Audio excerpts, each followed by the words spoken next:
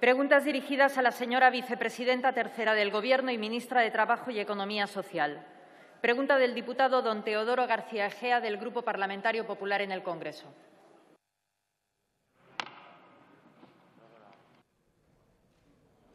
Gracias, señora presidenta. Señorías, les veo muy nerviosos. Yo entiendo que no les guste que le piten y les abucheen, pero no lo paguen con nosotros. Sean justos. Señora Díaz, normalmente los gobiernos tienen 100 días de prueba, no 30 años.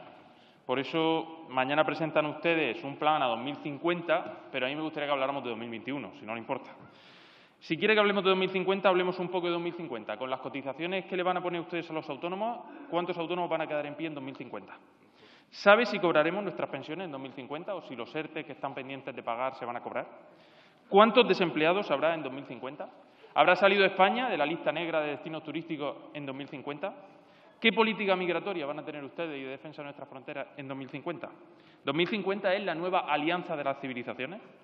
Y ahora le voy a hacer preguntas ya de 2021.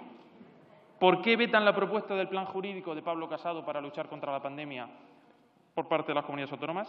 ¿Cuándo van a llegar las ayudas de los fondos europeos a las empresas? ¿Cuántos impuestos van a subirnos ustedes a los españoles? ¿Cómo va a solucionar usted el drama de los 1,2 millones de hogares que tienen a todos sus miembros en paro? Y una última, ¿sabe los motivos por los que han ocultado los recortes eh, que tiene previsto el Gobierno en el plan que han enviado a Bruselas?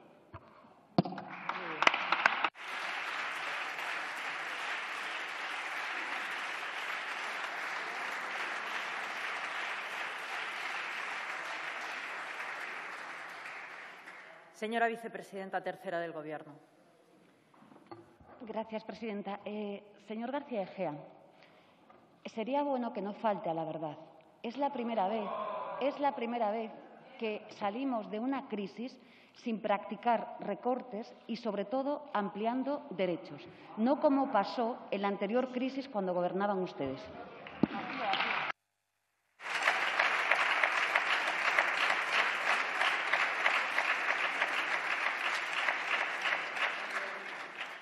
Señor García Egea.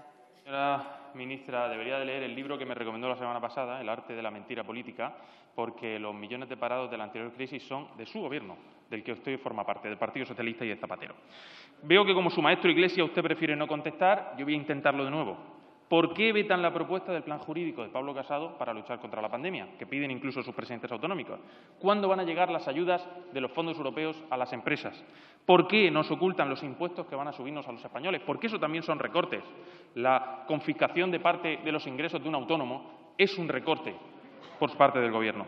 Usted no tiene respuesta y por eso el Gobierno mira a 2050 y no a este verano, a este mes o a esta semana. Pero le digo una cosa, señora ministra. Pablo Iglesias también miraba a 2050 y no ha llegado el verano. Los españoles, sin embargo, saben que no van a tener que esperar a 2050 para que les saquen de la lista negra de destinos turísticos, para que les bajen los impuestos y eviten el infierno fiscal o para que la seguridad de nuestras fronteras esté garantizada, porque muy pronto va a ser Pablo Casado y el Partido Popular el que ponga orden en España. Vayan haciendo las maletas, todo el mundo sabe que lo suyo es un gobierno en descomposición. Del futuro solo tenemos una, una certeza.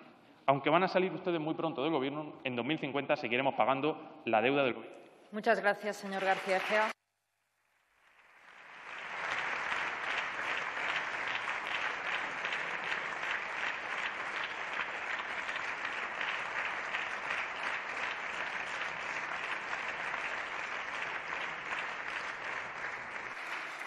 Señora vicepresidenta tercera del Gobierno.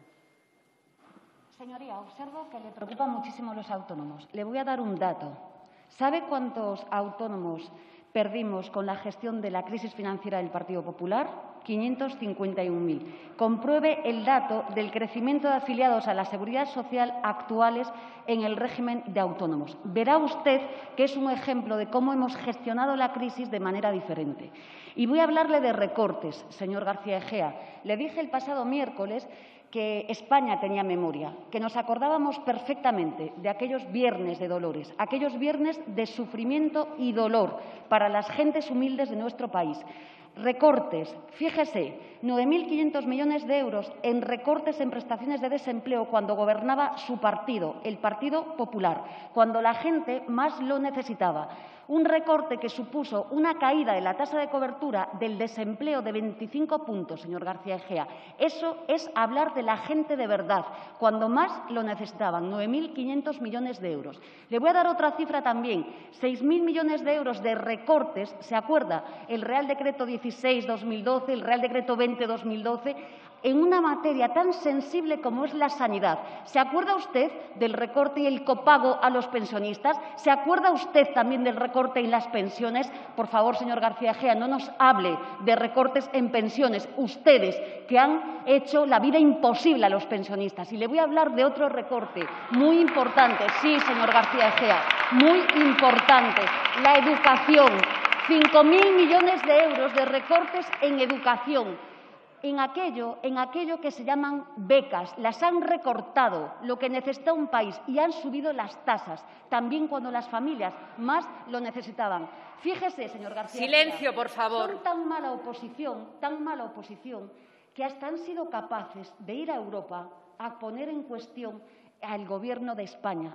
Son tan mala oposición que han votado en contra de 140.000 millones de euros para cambiar, transformar nuestro país.